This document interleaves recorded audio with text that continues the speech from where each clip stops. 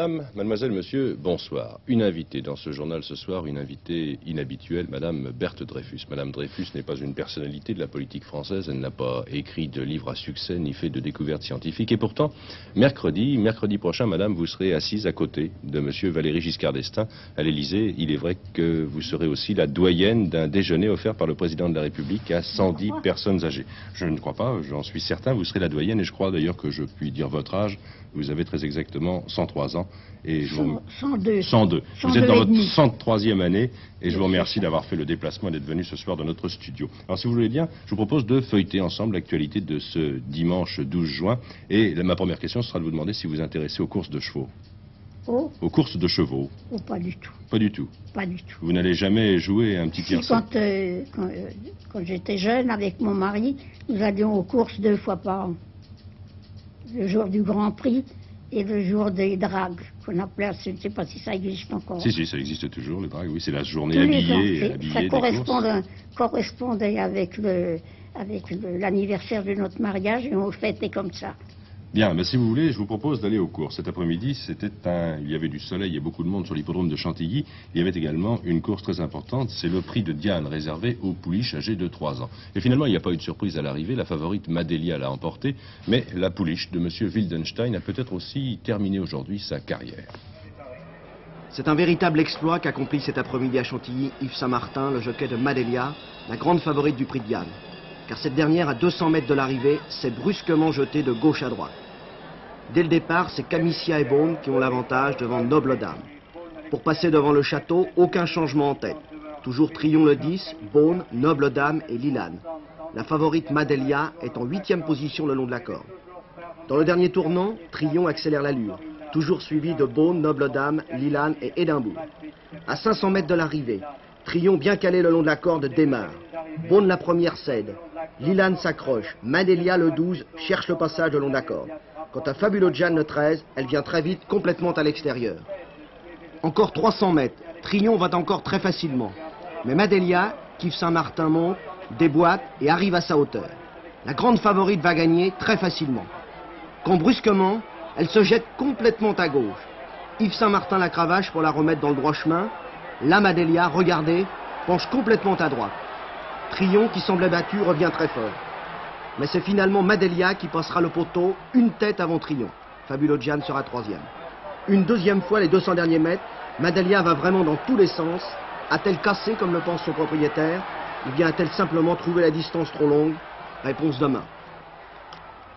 Et nous n'avons pas encore les rapports de ce tiercé qu'il fallait jouer aujourd'hui, le 12, le 10 et le 13. Les rapports vraisemblablement tout de même avant la fin de ce journal.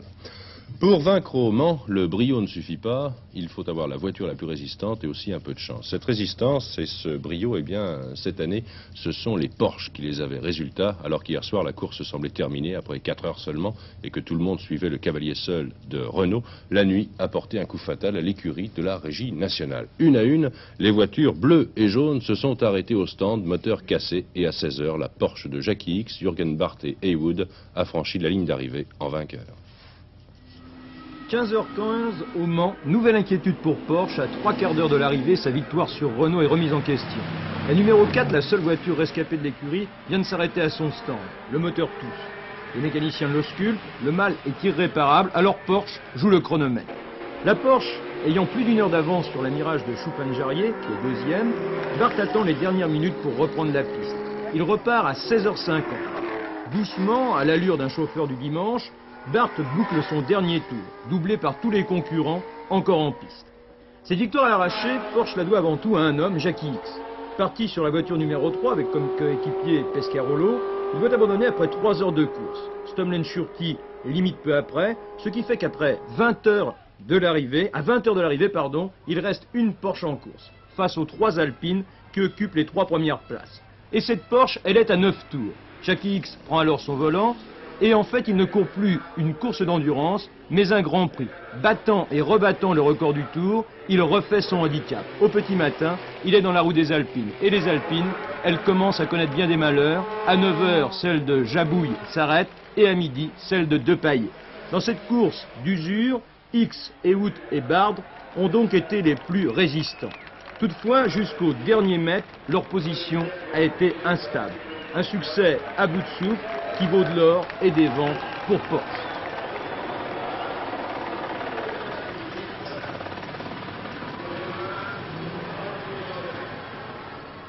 Et une victoire au ralenti au Mans, avouez que c'est tout à fait inhabituel. La politique, Madame Dreyfus, je vous propose d'ouvrir un peu le dossier politique qui était assez chargé en ce dimanche. La semaine qui s'ouvre en effet demain ne sera pas très reposante à la fois pour les hommes politiques et pour les journalistes que nous sommes. C'est en effet mardi, vous le savez peut-être, que le gouvernement va demander à l'Assemblée nationale de ratifier le traité qui concerne l'élection du Parlement européen au suffrage universel. Tout a été dit, ou presque, sur ce, du côté de la majorité, sur la situation créée par le refus du RPR de soutenir le texte du gouvernement. En revanche, du côté de l'opposition, la situation était peut-être moins jusqu'à aujourd'hui, car aujourd'hui, dans votre région, pas tout à fait à Colmar, à Strasbourg très exactement, M. Marchais précisait la position du Parti communiste. Le Parti communiste français considère que déjà la lutte que nous avons menée, souvent seul en tant que parti, a contraint le gouvernement à un premier recul. Cependant, il est insuffisant. Euh, c'est pourquoi nous pensons que le projet de loi doit être amendé. Le groupe communiste à l'Assemblée nationale a déposé des propositions en ce sens et il va se battre pour leur prise en considération. Mais que pensez-vous de la proposition de Jacques Chirac? Mais Jacques Chirac est vraiment, si je puis dire, mal placé, pour ne pas dire le plus mal placé, pour euh, aujourd'hui se présenter comme euh, défenseur de l'indépendance nationale. Je vous fais observer que depuis 1974, avec euh, le président de la République Giscard d'Estaing, il n'a cessé d'agir en faveur d'une politique qui rade notre indépendance et notre souveraineté. Eh bien, faisons comme M. Georges Marchais, parlons de M. Jacques Chirac, qui avait réuni aujourd'hui à Paris un congrès extraordinaire du RPR. Objectif de cette réunion, compléter le comité central du mouvement et aussi débattre de la participation. Disons tout de même qu'à côté de cet ordre du jour, le problème de l'Europe était également posé. Et M. Chirac, comme prévu, a réaffirmé l'opposition de son mouvement au texte du gouvernement. Les 1200 responsables euh, du congrès extraordinaire du RPR ont voté à l'unanimité, et je dis bien à l'unanimité, une motion approuvant la position qui a été prise par le groupe parlementaire et par le conseil politique de notre mouvement, c'est-à-dire approuvant la demande d'ajournement euh, du projet en question. Il a réaffirmé très clairement euh, son attachement profond à la nécessité de construire rapidement une Europe unie, indépendante et confédérale, qui lui paraît seule en mesure de répondre aux exigences et aux problèmes euh, des nations européennes et notamment de la France. Eh bien, quatre ministres étaient dans la salle quand M. Chirac a fait adopter cette décision. Parmi eux, M. Perfit et M. Poncelet. Alors, ils l'ont adopté, cette motion, avec un bel enthousiasme, seulement elle va avoir deux conséquences. La première, c'est qu'évidemment, elle conforte la position de M. Chirac face au gouvernement. Mais également, elle va gêner les députés RPR, 10 ou 15, qui, comme M. Chaban-Delmas, s'apprêtaient à voter le texte du gouvernement. Alors, M. Chirac s'est défendu une nouvelle fois de vouloir ouvrir une crise et il a suggéré qu'on attende pour ratifier le fameux traité euh, que l'Assemblée ait été renouvelée en mars 78 en disant il n'y a pas le feu dans la maison puisque seule jusqu'ici l'Italie a voté. En dehors de cette euh, décision du RPR, y a-t-il autre chose qui vous a frappé lors de ce congrès extraordinaire? Oui, c'est à la fois le style gaulien de toutes les interventions, la tendance presque joyeuse des congressistes et également le fait qu'à la fin du mois, tout l'appareil du RPR aura été mis en place, c'est-à-dire que la machine électorale sera prête à fonctionner. Une grande partie des responsables a été renouvelée, on a changé les pièces usées, on a serré les verrous, la liste des investitures sera prête le 15 juillet, et au fond, le train est sur les rails, il ne manquera plus que le coup de sifflet pour des élections. Merci Daniel. Avant le débat sur l'Europe au Parlement, M. Raymond Barre va faire demain un bref voyage en Poitou-Charentes. Deux villes, notamment, accueilleront le Premier ministre, Niort et La Rochelle. Ce voyage sera l'occasion pour M. Barre de parler des problèmes économiques régionaux, bien sûr, dans une région qui est durement touchée par la crise économique. Le problème de La Rochelle, il est là. Ce vendredi, il n'y avait que trois bateaux qui sont rentrés au port. À bord, peu de poissons, Il faut dire que traditionnellement, les pêcheurs rochelais ne prennent dans leur filet que les espèces dites nobles, le merlu, la sole, le Saint-Pierre. Des espèces dont les cours ne sont pas soutenus par le marché commun. D'ailleurs, la pêche française dans son ensemble est très peu aidée par rapport à l'agriculture. Mais à La Rochelle, en plus, la concurrence étrangère est rude.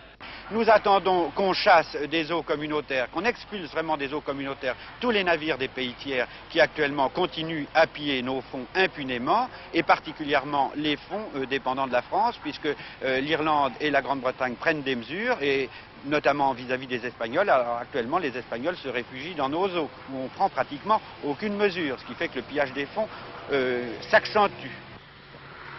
Depuis dix ans maintenant, le centre de gravité de la ville s'est déplacé du port des Chalutiers, où on désarme les navires à tour de bras, au port de Plaisance, où bientôt 2000 voiliers viendront accoster. De quoi satisfaire les professionnels du yachting et fournir les emplois à ceux qui souhaitent prendre la relève de la pêche. Je pense que déjà, en partie en personne employée, euh, elle l'a remplacé. Elle l'a peut-être pas encore remplacé en rentrée d'argent. Mais euh, on peut espérer que ça continue à se développer et à reprendre un rythme peut-être pas celui d'avant-crise, mais au moins euh, un rythme régulier de croissance. Hein, il y a beaucoup d'atouts à La Rochelle pour que ce soit. Hein, ça, dépendra de, différentes choses, mais euh, moi j'ai bon espoir que cette croissance reprenne normalement.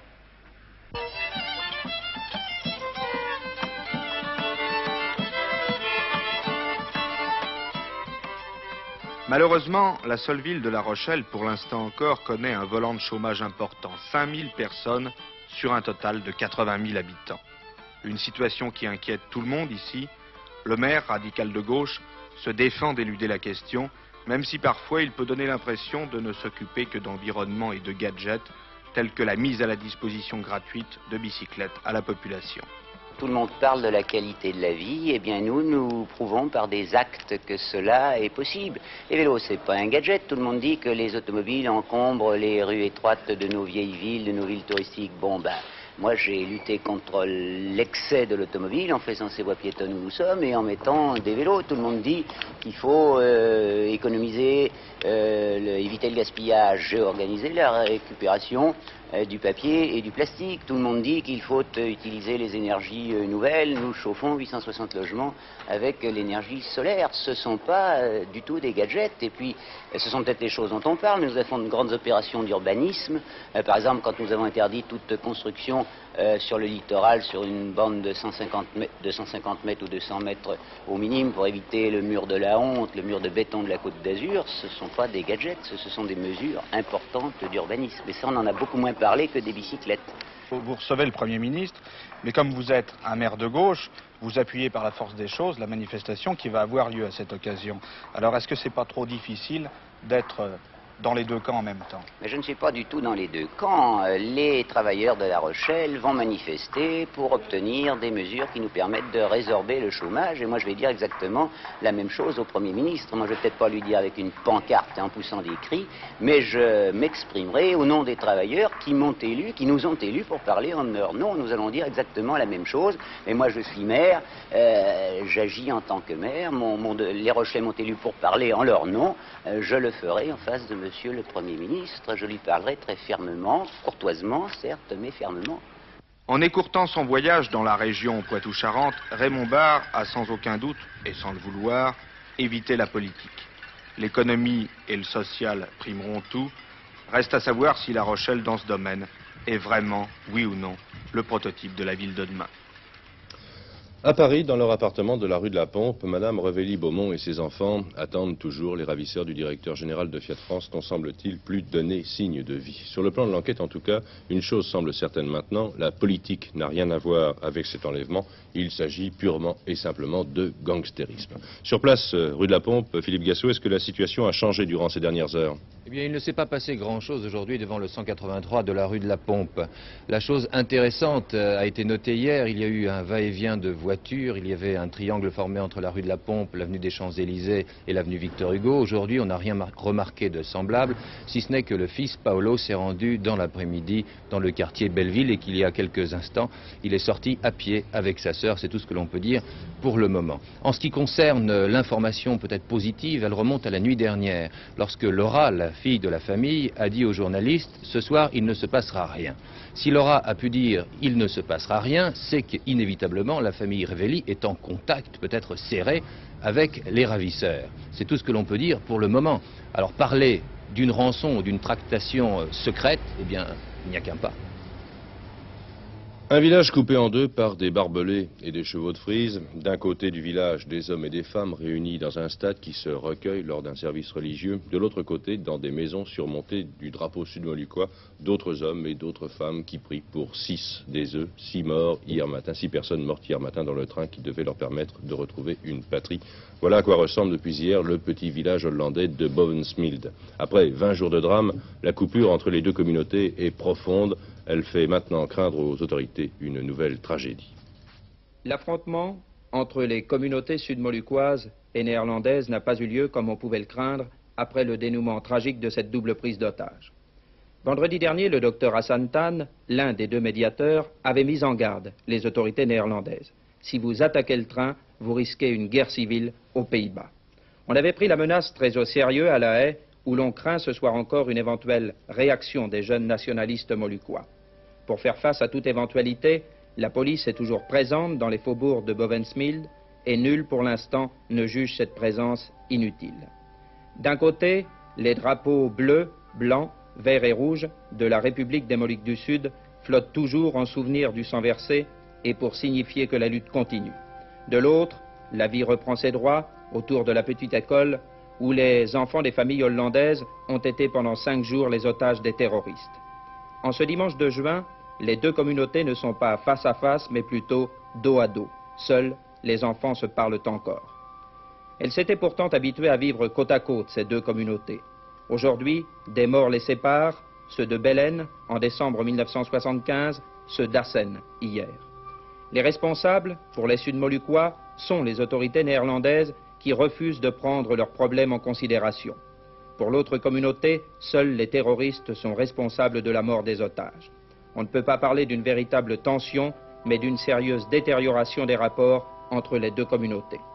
Le gouvernement néerlandais, à la recherche de l'apaisement, essaie d'enrayer les retombées de cette affaire, mais rien n'est réglé. Ce matin à La Haye, le ministre de la Justice a reçu plusieurs personnalités de l'éphémère République des Moluques du Sud en exil, sans doute pour donner aux jeunes nationalistes une certaine légitimité tout du moins aux yeux de la communauté moluquoise. Mais les terroristes en puissance, eux, pensent-ils déjà à une nouvelle action? C'est la question que se posent maintenant les Hollandais et une bonne partie de cette communauté moluquoise qui ce matin, à l'office religieux, pleurait ses morts sans bien comprendre pourquoi ils étaient morts et qui, elle aussi, ce soir, est inquiète. La situation reste tendue en Afrique australe. Le ministre sud-africain des Affaires étrangères, M. Botta, a, demandé, a démenti aujourd'hui le retrait des troupes sud-africaines de Namibie. Selon M. Botta, la situation restera gelée jusqu'aux élections permettant à ce territoire d'accéder à l'indépendance. Quant aux troupes rhodésiennes, elles effectuent régulièrement depuis quelques mois des opérations sur le territoire du Mozambique. Le Mozambique abrite les mouvements indépendantistes rhodésiens et ce sont les bases militaires de ces mouvements qui sont visées par l'armée rhodésienne.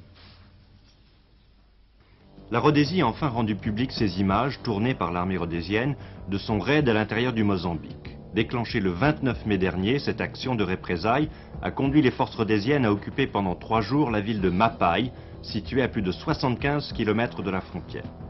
C'était la première fois que la Rhodésie allait aussi loin pour essayer de détruire les bases arrières et les stocks d'armes des guérilleros nationalistes. Pourtant, le bilan n'a pas, semble-t-il, justifié les espoirs du commandement rhodésien, peu d'armes lourdes, quelques guerrieros tués, quelques camps incendiés.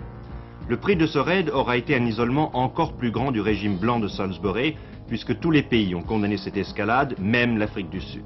Mais devant l'aggravation quotidienne de la guerre, l'une des seules voies encore ouvertes à la Rhodésie, n'est-ce pas la fuite en avant, c'est-à-dire l'escalade? Il y a quatre jours, euh, M. Valéry Giscard d'Estaing répondait aux questions des jeunes lycéens. C'était sur Antenne 2, vous vous en souvenez sûrement. Mercredi, le chef de l'État, et là je vous le disais en début de ce journal, le chef de l'État recevra à déjeuner à l'Élysée des Français et des Françaises dont les souvenirs d'école sont, c'est le moins que l'on puisse dire, lointains. Ce sont en effet 110 personnes âgées qui seront reçues par le chef de l'État et la personne qui sera installée à la droite du président de la République, eh bien, c'est Madame Dreyfus qui est ce soir notre invitée.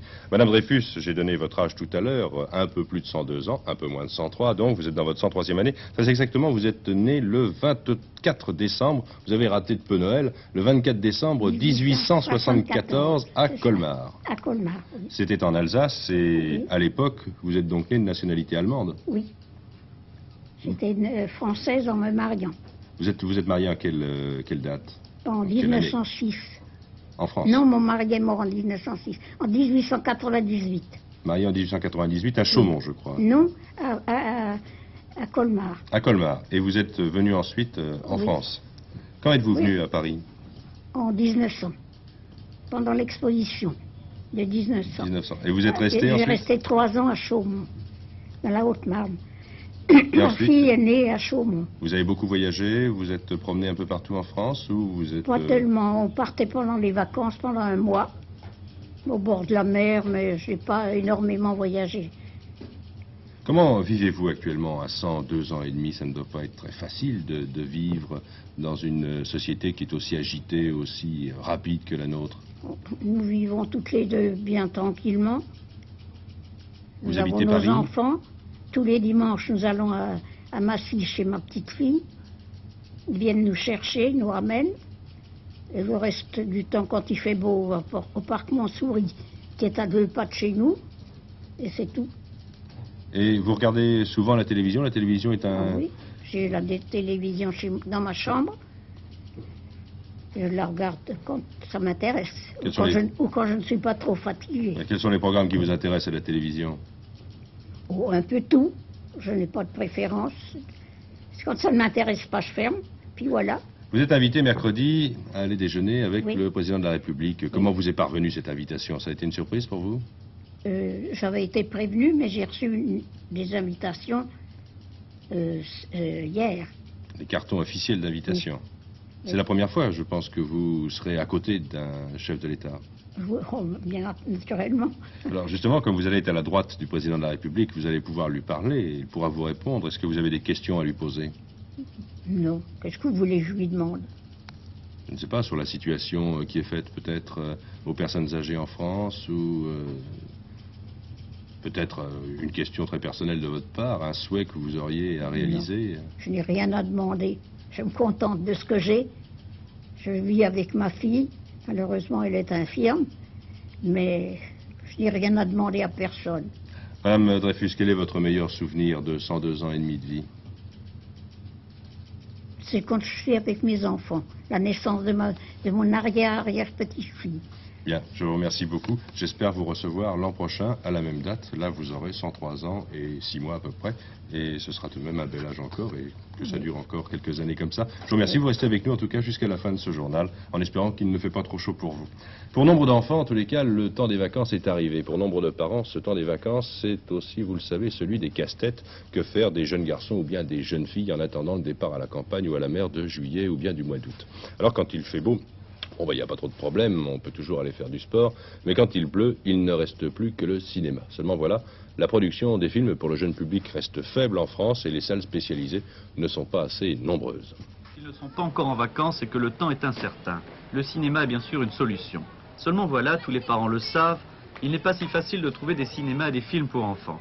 À Paris même, les salles spécialisées se comptent sur les doigts d'une main malgré les queues importantes qui se forment le mercredi ou le dimanche. Et c'est là le problème. Deux jours par semaine, ce n'est pas assez, répondent les distributeurs et les propriétaires de salles. Le cinéma pour enfants, ce n'est pas rentable en dehors des congés scolaires. On se contente donc d'exploiter quelques valeurs sûres comme les productions Walt Disney. Est-ce suffisant? Je souhaiterais qu'il y ait des, des films dont les acteurs seraient joués par les enfants, comme Bugsy Malone, que j'ai bien aimé. Tu n'as pas de salle spécialisée pour enfants dans ton quartier Non, j'aimerais qu'il y en ait au moins une par, euh, par arrondissement pour que les enfants puissent y, y accéder plus facilement. Fantôme de Barbe Noire, de Walt Disney. Il veut vous faire mourir. Mais de rire seulement. Ici le pavillon noir, à nous deux, Mendoza. Mille sabords. Peter Ustinov est un fantôme qui se déchaîne. Les Aristochats ou Robin des Bois ont attiré en France plus de 4 millions de jeunes spectateurs. Mais en dehors des grands circuits commerciaux, les tentatives sont rares et souvent décevantes. Exemple, l'expérience des Petits Pousses et Montmartre et Saint-Dominique.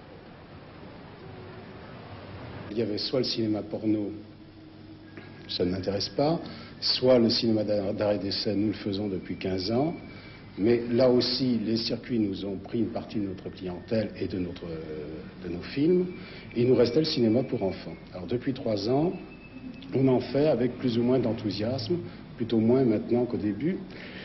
Euh, au début, nous avions demandé la collaboration d'une jeune personne qui était chargée de contacter tous les directeurs et directrices d'établissements scolaires aux environs, chargée de créer un fichier pour faire venir, euh, pour informer les enfants des manifestations que nous, avions envie de faire.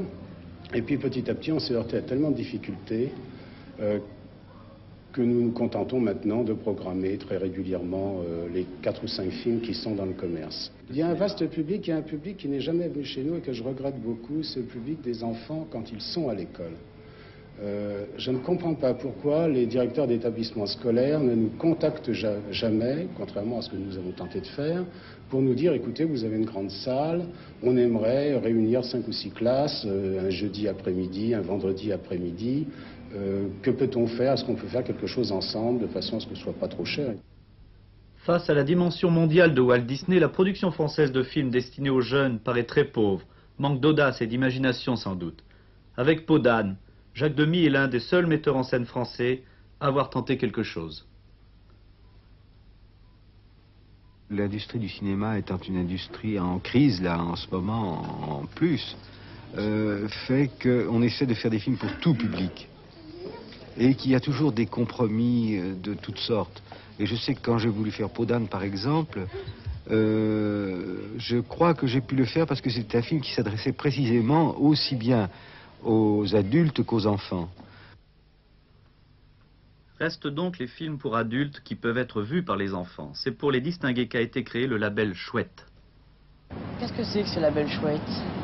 Écoutez, c'est un label qui est destiné à vous dire quels sont les films que vous pouvez voir en dehors de ceux que vous irez voir de toute façon? La castagne, je suis sûr que vous arrêterez devant. Ce n'est pas chouette, c'est pas votre problème, mais vous vous arrêterez. Le fantôme de Barbe Noire, je suis sûr que vous vous arrêterez. Est-ce que vous savez euh, que Omar Gatlato, qui est un film algérien, est une merveille pour vous? Non. Est-ce que vous savez que En route pour la gloire, qui vient d'être présenté à Cannes, est un merveilleux film pour vous? Non plus. Est-ce que vous savez, allons, donnez-moi ça, donnez-moi cette chose-là. La guerre, la musique et nous. Vous avez entendu parler de ça? Non. Même pas en cours de récréation. Mais c'est pourtant formidable. Et le diable dans la boîte oui, ça j'ai entendu parler. Ça oui, ça vous avez envie d'y aller. Vous voyez, pourtant, c'est un film sur un sujet d'adulte, terriblement adulte, et formidable pour vous. Vous allez, vous allez adorer ça. Mais pourquoi ne pas demander aux enfants de choisir eux-mêmes? C'est ce qui a été fait au dernier festival d'Avoriaz. Un jury d'enfants a primé Le Bus en folie, encore une production américaine, dont la sortie est prévue le 15 juin. Souhaitons-lui d'inspirer enfin des réalisateurs français.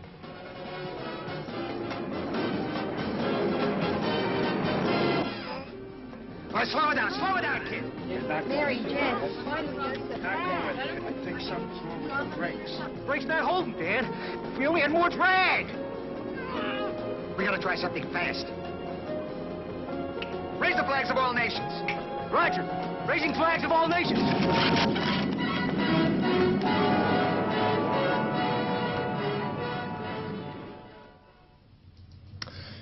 Les rapports du tiercé me parviennent à l'instant. Cet après-midi, vous le savez, dans le tiercé, le prix de Diane, il fallait jouer le 12, le 10 et le 13. Les rapports sont assez médiocres, je vous le dis tout de suite. 347 francs 50 pour 5 francs si vous avez joué le 12, le 10 et le 13 dans l'ordre. Et 69 francs 50 si vous avez joué ces trois chevaux dans un ordre différent. Ça n'est pas un tiercé de millionnaire ce soir.